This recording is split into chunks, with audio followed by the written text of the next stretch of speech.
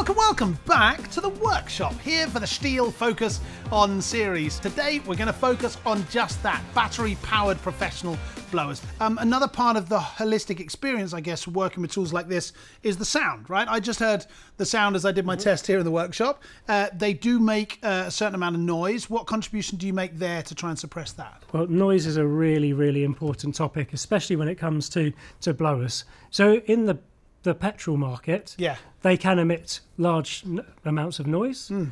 It's very easy to make a battery powered blower a lot quieter. Naturally, they haven't got the petrol engine run, running. Right.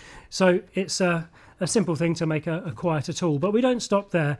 It's not just about the decibel level, it's about the tone of the noise coming out of the blower as well. Right. And that can either give a user and the surrounding people a pleasant experience or an unpleasant experience. So, so, it's not only about volume levels, it's about the, the, quality of the sound, right? Yeah, so you have to have a holistic approach, not just looking at the spec sheet and seeing the decibel levels there, but actually the tone of the blower um, can be a really, really important thing. So listening to the tone is quite quite a key thing. Okay, and you've got a video where you compare sounds of two machines, right? Yeah, my colleague Toby here in the Stihl training team um, has prepared a nice little demonstration comparing two similarly powered, um, sound power leveled blowers. Right. One from Stihl, one from another manufacturer.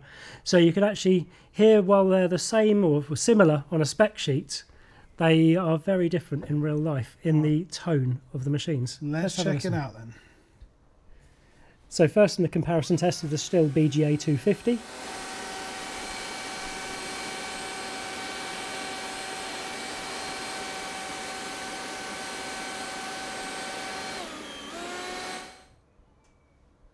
And then we have a competitor product.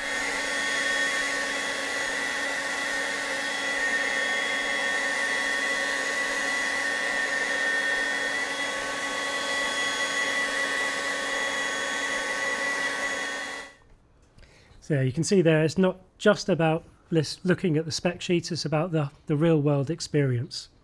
It definitely is. I certainly have my opinion of which I would rather listen to, but it would interest us to know what your opinion is.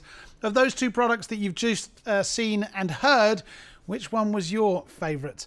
Uh, final point on the subject of sound. Do I have to wear ear defenders when I'm using these products? Not with the handheld blowers we've seen today, the BGA 100, the 200 and the 250 we've got here. You don't need to wear ear defenders. So the overall sound experience is, is better for the professional user and also for the people in the, uh, in the environments where you're doing the clearing. So whether in schools, hospitals or, or in offices, you get a pleasant uh, experience overall. Paul, thank you so much for sharing it with us today. It's been a blast. My pleasure. Thank you very much. And thank you guys for dropping by. Until next time, don't forget to uh, ring the bell and uh, subscribe to the channel. It's the only way that you can find out the next time Paul has got some insights to share. But until the next time, from all of us here in the workshop, take care of yourselves and cheerio.